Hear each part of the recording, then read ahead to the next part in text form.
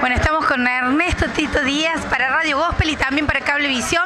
Agradecido y, y felices de verte nuevamente en otra temporada aquí en Villa Carlos Paz, pero hoy nada más y nada menos de la mano de José Muscari. Un placer enorme. Totalmente, muchas gracias, el placer es totalmente mío.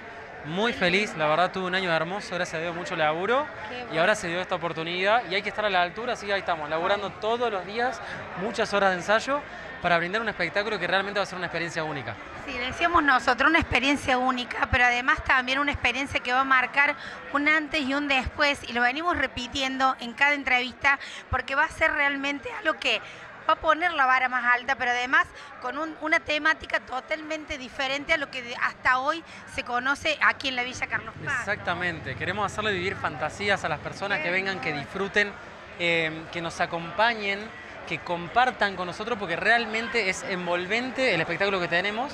Y para eso estamos trabajando tanto, estamos muy contentos, es una obra distinta realmente. Mucha pasión, mucha entrega, mucho amor, y, y todo lo que se hace con amor tiene que salir bien. Si Dios No quiere, la verdad que sí, Tal totalmente. cual. En eso ¿Dónde van a estar y cuándo? Vamos a estar en el Teatro Melos desde el 28 de diciembre y vamos a estar hasta marzo, así que los esperamos. Bien, bueno, entonces te invito para que vos invites a toda mi audiencia para que nos volvamos a encontrar entonces aquí en la villa y que nos volvemos a ver. Mira, yo soy como la Mirta.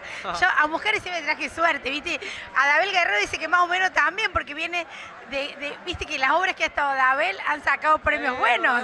¿Viste? Que, que- viste que está Dabel y, y, bueno, empezó con extravaganza, después con, con Angelito y ahora viene con Moscari. Y viste que está Dabel y hay premios importantes. Así que bueno, yo soy como Dabel y como la Mirta, le digo. Más o menos nos estamos comparando. Así que bueno, te vemos en los premios, si Dios quiere. Si Dios quiere, sí, y los esperamos en el Teatro Melos desde el por 28 de diciembre. Bueno, gracias. Gracias, Gracias, muy amable, y- un gusto. Y buena temporada. ¿eh? Muchas